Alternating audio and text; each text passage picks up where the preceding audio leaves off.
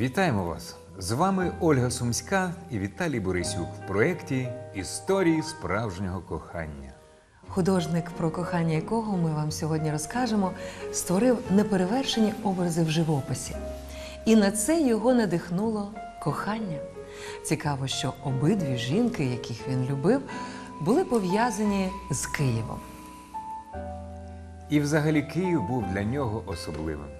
Це місто було ареною його неймовірних злетів і трагічних подій. Саме тут Михайло Врубель створив найвідоміші свої роботи. Тут він і кохав. Обличчя чиєї дружини малював Врубель у соборі? Чому художник порвав свій малюнок Східна казка? Та що стало причиною, що Врубель різав себе лезом? Про все це і не тільки дивіться просто зараз в історіях справжнього кохання. Привіз Врубеля до Києва Адріан Прахов, його роботодавець і згодом суперник у коханні.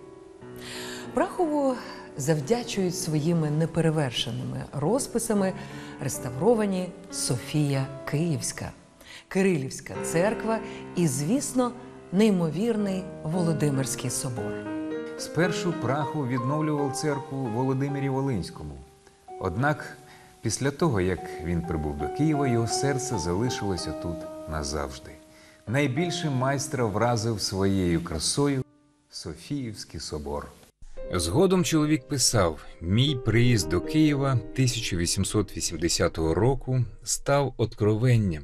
Софійський собор, його прекрасні мозаїки запаморочили голову, полонили серце. Мені хотілося все це обійняти і ніколи з цим не розставатися. Власне, з цієї причини мистецтвознавець зупинився в Києві надовго. У Києві Адріан Прахов займався викладацькою роботою і курирував розписи щойно збудованого Володимирського собору. Однак першопричиною запрошення в Київ Михайла Врубеля була Кирилівська церква. У 19 столітті несподівано під час богослужіння відвалилася частина штукатурки, під якою відкрилися розписи 12 століття. Мистецтвознавці, на чолі яких був Адріан Прахов, вирішили відновити розписи. Однак було дві проблеми. По-перше, для виконання подібних робіт потрібен був майстер високого професійного рівня. А по-друге, охочих працювати в Кирилівській церкві не було. Річ у тім, що цей середньовічний собор у 19 столітті розташовувався на території клініки для душевнохворих, і це додавало місцю недоброї слави. Тож Прахов рушив шукати майстрів до Петербургу. Там він порадився зі своїм знайомим викладачем Академії художеств. Викладач порадив Прахову свого студента Михайла Врубеля. Тож Адріан запросив молодого митця в Київ, і Врубель рушив у місто над Дніпром.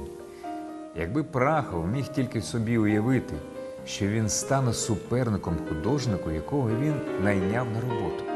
Щоб живописець не сумував на новому місці, дружина Прахова Емілія особисто завітала в Кирилівську церкву і запросила Врубеля на вечерю. Михайло був вражений вродою та вишуканістю Емілії. Він прийняв запрошення, а після цього почав бувати на прийомах в домі Прахових. Художник був з простої родини і таких вишуканих гостин не бачив ніколи.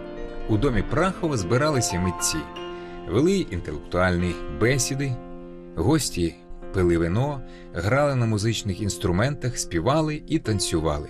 І над усіми цими розкошами панувала незрівнянна Емілія Львівна. Окрім вроди, вона мала ще й гострий розум та блискучу освіту. Ця жінка вміла створювати довкола себе атмосферу артистизму і свята.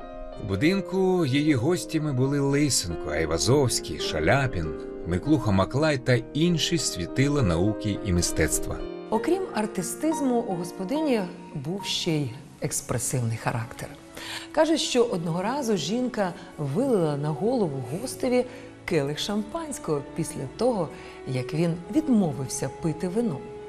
Варто сказати, що саме завдяки Емілії Львовні до нашого часу дійшло багато ескізів та замальовок, зроблених рукою знаменитих художників. Вона ретельно зберігала усі малюнки, які вони робили на серветках під час чаювань та обідів. Перед чарівністю жінки не встояв і Врубель. Тим більше, що чоловік Емілії Адріан Прахов часто піддавався чарам жінок і заводив інтриги. Коли ж Емілія про них дізнавалася, то вона йшла з дому. Та коли поверталася, то зачинялася в їдальні, ні з ким не розмовляючи. Натомість, з-за зачинених дверей лилася безмежно журлива музика. Емілія грала на фортепіано. Після цього Адріан просив у жінки пробачення, і вона його завжди вибачала. Сама ж вона мала бездоганну репутацію і, незважаючи на зради чоловіка, ніколи не платила йому тією ж монетою. Хоча залицяльників у неї завжди було вдосталь, і в цьому гурті шанувальників був і Врубель. Від кохання до Емілії він геть втратив голову. Його не бентежило те, що жінка була на 4 роки старшою і крім чоловіка мала ще й трьох дітей. На подарунки і квіти у митця не було грошей, натомість він дарував жінці свої ескізи, а якось він приніс замальовку картини Східна казка. Робота була такою красивою, що Емілія відмовилася приймати її в дар. Вона сказала, що місце цьому шедеврові в музеї. Засмучений художник нервово розірвав малюнок на клаптики і, не попрощавшись, вибіг від Прахових. Коли згодом він прийшов і попросив пробачення за свою поведінку в Емілії, то вона йому вручила склеєний малюнок. Михайло намагався вразити свою кохану. Він носив екстравагантний одяг, фасони якого вигадував сам. Часто одягав середньовічні панталони і плащ з багатьма пелеринами, щоб вразити даму серця. Одного разу Врубель вирішив придбати дорогу сорочку. Він дуже довго вибирав предмет гардеробу, так що аж продавець здивувався, навіщо цьому бідному чоловікові така дорога річ, яка могла б пасувати самому губернаторові. Михайло придбав шовкову сорочку, одягнув її і рушив в гості до Емілії Прахової. Там жінка сказала йому, що не варто бути таким неощадливим і зайве витрачати гроші.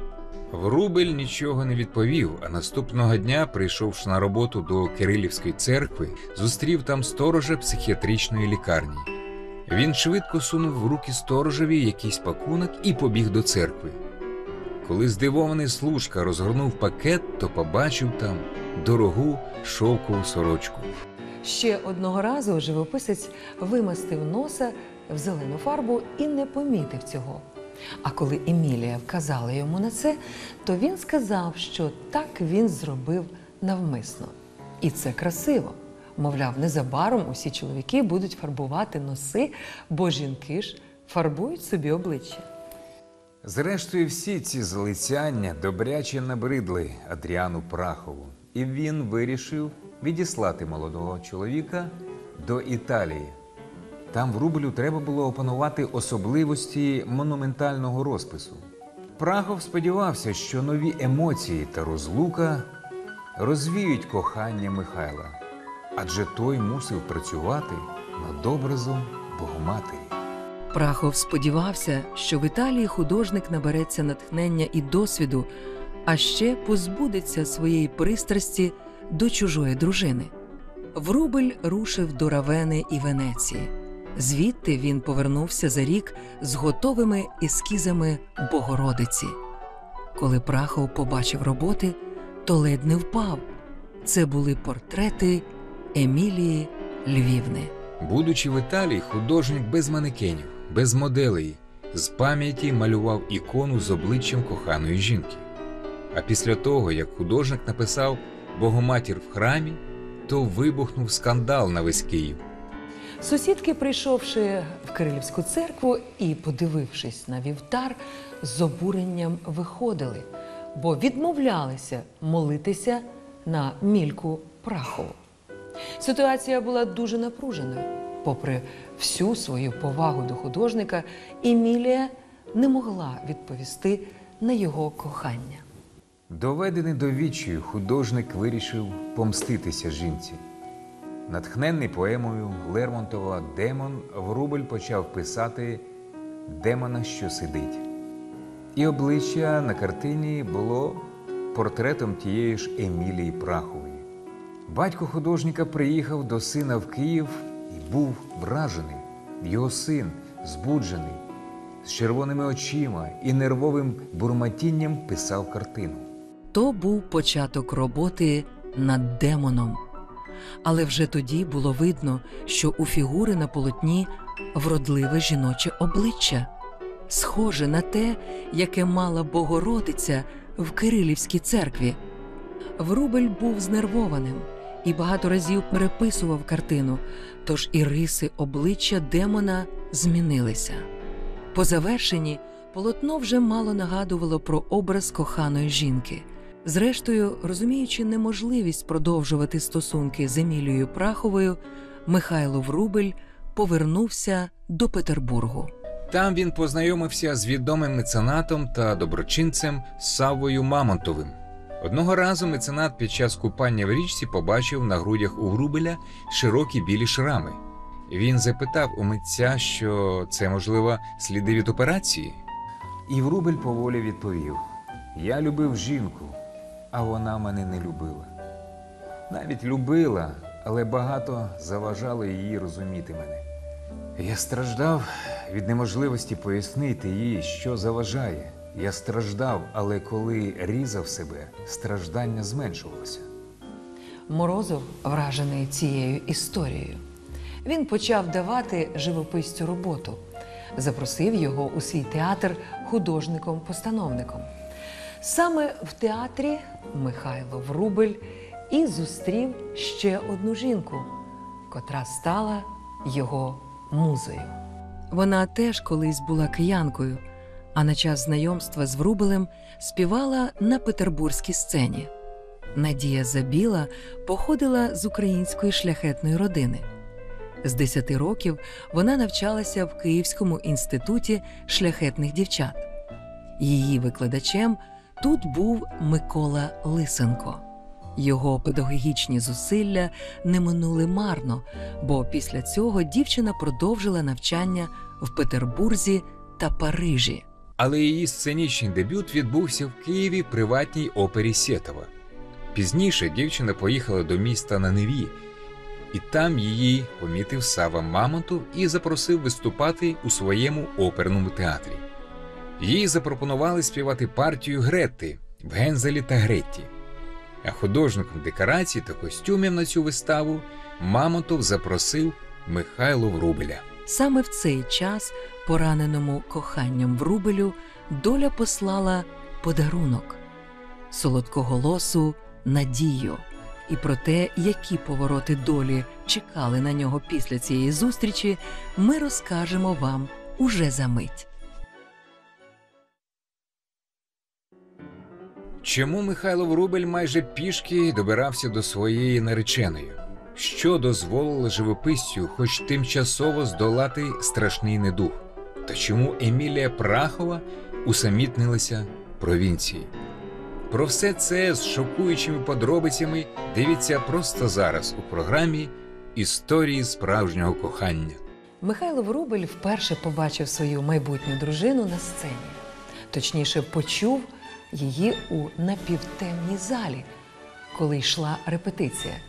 Пізніше, коли музикантка перепочивала, він підбіг до неї, поцілував руку і вигукнув. Чарівний голос. Вона була дещо шокована такою експресивністю. Присутній при цій сцені спільний знайомий сказав Надії: «Е, наш художник Михайло Врубель людина дуже експансивна, але цілком порядна. На той час йому було 40 років, а їй 28. Пізніше він казав, що якби вона була не такою молодою і досвідченою, то він її б не покохав. Крім чарівного голосу, його привабила ще і її молодість. Надія ж вважала свій вік досить критичним. Час було виходити заміж. Залицяльників у неї вистачало. Неперевершений голос, приваблива зовнішність та вишукані манери бентежили не одне чоловіче серце. Але Надія боялася, що подружнє життя позбавить її сцени, а опера для дівчини була передусім. А цей дивакуватий художник, здавалось, підходив їй ідеально. Вона прийняла його залицяння, хоча фінансові справи його були вкрай поганими.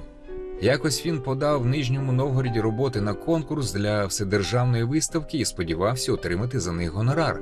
Але комісія панно відхилила, відповідно, нічого не заплативши. Врубель повертався до своєї нареченої і через відсутність грошей змушений був завершувати свою подорож пішки. Однак Надія ні на що не зважала, бо й залицявся чоловік дуже вишукано. Митець почав писати портрет Забіли для малюнку до опери Гензель і Грета. І вона кокетливо заявила, що якщо акварель вдасться, то вона вийде за нього заміж. Портрет вийшов прекрасним, і Надія сказала заповітне так. Весілля відбулося в Женеві. Церемонія була скромна, але урочиста та вишукана. Перші дні після весілля молоді були надзвичайно щасливими. Надія писала своїй сестрі, що вона боїться загадувати наперед, але поки що почувається на сьомому небі від щастя. Пробувши трохи в Женеві, молодята поїхали до Харкова. Грубель ні на крок не відходив від молодої дружини. Він вигадував не тільки її сценічні костюми, а й повсякденний одяг. Як згадувала колега Забілою, Грубель одягав свою жінку від головного убору до панчох. Він приходив щоразу до її вистави на дві години раніше, щоб допомогти Надії підготуватися до виходу на сцену. Митець допомагав Забілі в роботі над образами. Він робив помітки на її нотах та влучні усні зауваження. Він слухав кожну її виставу. Одну з опер він дивився приблизно сто разів. І коли Надія Іванівна запитала, чи йому не набридло, мовляв, він відповів, що йому не може набриднути на неї дивитися. Він купував для дружини усе найдорожче і найкрасивіше: парфуми, віяла, прикраси, милі дрібнички. Сам він обходився мінімумом, однак їй дарував усе тільки найвищого гатунку. Жінка писала в листах, що забирає в нього гроші, щоб він ними не смітив. Якраз в цей час родина познайомилася з римським Корсаковим. Композитор теж був зачарований Надією Іванівною, тож почав писати опери спеціально для неї. Врубель усіляко сприяв співпраці композитора та співачки. Результатом роботи стала прем'єра опери Царева наречена.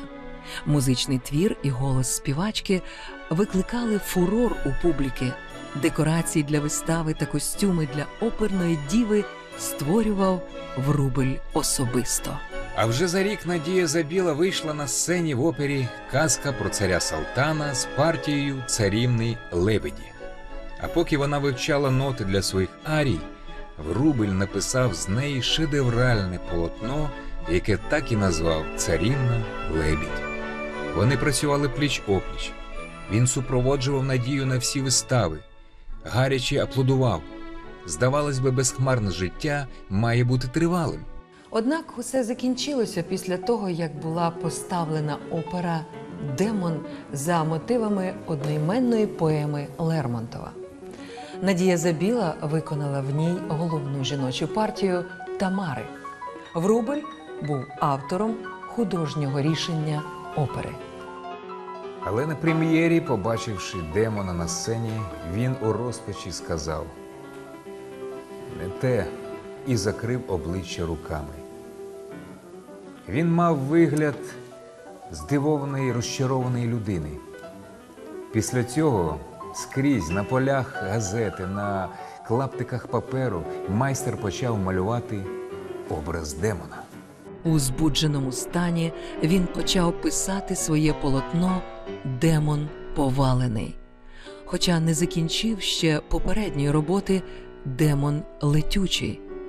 Врубель написав знайомому записку з проханням надіслати йому фотографію Кавказьких гір, бо вони мали бути тлом його картини. Не міг заснути, поки не отримав світлини. А після цього запалом взявся до роботи. Цей період, який пройшов у живописця в збудженні, став початком краху сімейного щастя та й життя загалом. Забіла на той час після п'яти років сімейного життя була при надії. Подружжя очікувала первістка, вибирали дитячий візок. Мріяли, як уже з малям поїдуть на виставку до Парижа, щоб показати демона. Але те, що мало стати для них спільним щастям, стало несподіваним ударом для Врубеля. Незабаром у подружжя народився хлопчик, якого назвали на честь Сави Мамонтова Саввочкою. Проте батько дивився на маля з жахом. У дитинчати була заяча губа. У той час ця вада вважалася ознакою виродження. Михайло Олександрович був вражений. У нього, такого поціновувача краси і досконалості, народилася некрасива дитина. Він на чотири дні зачинився в кімнаті і писав портрет маляти. Очі дитини на портреті сповнені страждання, того страждання, яке переповнювало душу Врубеля. З часом Михайло Олександрович дещо заспокоївся і виявив бажання поїхати в Київ до друзів. Надія Іванівна гадала, що мандрівка і приємне спілкування з приятелями справить позитивну дію на чоловіка. Вона зайнялася організацією поїздки, і родина рушила до Києва. Аж тут трапилося нове горе. У дорозі Савочка захворів, і коли сім'я прибула до Києва, то в дитини вже була дуже висока температура. Лікарі нічого не змогли зробити. Малюк помер від менінгіту за три дні. Поховали Савочку на Байковій горі. Врубель не знаходив собі місця. Він звинувачував себе у трагедії. Його настрій постійно змінювався.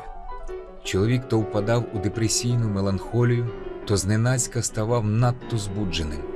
Родина та друзі вже й не знали, що їм робити, аж поки Врубель не сказав сам: Везіть мене кудись, а то накою я вам клопоту. Живописця помістили до психіатричної клініки. Його стан був дуже важким. Лікарі не давали ніяких гарантій на одужання, але дружина художника вірила в те, що чоловік повернеться до неї. Вона щодня відвідувала його в медичному закладі, годинами тримала його за руку, співала для нього. Дружина головного лікаря психіатричної клініки писала Надії Іванівні, що художник оживає лише коли говорить про неї. В такій миті його голос та погляд сповнені коханням. Він говорив, що на його дружину чекає видатне сценічне майбутнє. І ще він її малював. Збереглося багато малюнків, на яких митець писав свою кохану. І трапилося диво, на яке не сподівалися лікарі. Стан Михайла Врубеля поліпшився настільки, що його змогли виписати з медичного закладу. Він повернувся додому в обійми своєї дружини. А тим часом Надія продовжує співати. З величезним успіхом проходить дві прем'єри Снігуронька та Кощій Безсмертний, де вона виконувала головні партії. Захват публіки був безмежним. Шанувальники відзначали, що її очі сяють особливим світлом. А вона в цей час писала римському Корсикову. Взагалі, неймовірно важко жити на світі. Я часто думаю, що в мене не вистачить енергії співати та боротися за існування. Чоловік за білою часто відвідує її виступи. Але стан його здоров'я знову погіршувався. Крім того, через хворобу у Михайла Олександровича постійно погіршувався зір. 1904 року художник прийшов після вистави в гримерку до своєї дружини. Він довго дивився на неї, а потім мовчки взяв руку Надії і поцілував її. Це був останній раз, коли Врубель побачив виступ своєї дружини. Незабаром він втратить зір повністю. Крім того, в чоловіка відбулося загострення хвороби, і його знову доправили в клініку для душевнохворих. Часом, виринаючи з пітьми свідомості, Врубель писав ніжні листи надії і зізнавався, що він би вже загинув, якби не її кохання. Він нічого не бачив, але вона співала йому, і в ці хвилини він був щасливим. Але в ті моменти, коли її не було поруч, він не хотів всілення і мріяв про смерть, і намагався її пришвидшити. Хвилини прозріння змінювалися періодом безумств, і пацієнт клініки не знав, що саме в час своєї тяжкої недуги, в останні роки життя, до нього прийшла світова слава. Його заочно було обрано академіком мистецтв. Виставки з його картинами мандрували світом і скрізь проходили з неймовірним успіхом. А в цей час життя ставало нестерпним для художника. Коли нікого не було поруч, він годинами біля відчиненого вікна палати вдихав холодне повітря. Він хотів захворіти. Зрештою, так і сталося. У чоловіка трапилося запалення легенів, і він, маючи виснажений організм, згорів за кілька днів. За день до своєї смерті Врубель сказав своєму санітарові: набридло мені тут. Поїхали в академію. За злою іронією долі, наступного дня труна з тілом Врубеля була встановлена в стінах академії для прощання. Після смерті митця зазнало краху і життя двох жінок, яких живописець любив у своєму житті. Довкола Емілі Прахової почали витися брудні чутки. Всі почали звинувачувати її в безумстві художника. І вона, світська дама, організаторка київських балів та прийомів, не стерпіла цькувань. Вона полишила чоловіка і поїхала жити в провінцію. Там, забута усіма, самотня вона й померла. А Надія Забіла, поховавши Врубеля, пішла з театру. Ще кілька років вона гастролювала з сольними виступами. А в 1913 році, після концерту, жінка пішла до своєї кімнати, а вранці її знайшли мертвою. У медичному висновку причиною смерті вказано самогубство.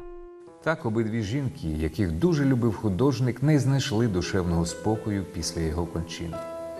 І хоч це все вже справи днів давно минулих, але це кохання Врубеля подарувало світові багато шедеврів, на які надихнули живописця його київські музи. А наш сьогоднішній випуск добіг завершення. Тож ми будемо прощатися з вами. Кохайте і довіряйте своєму серцю.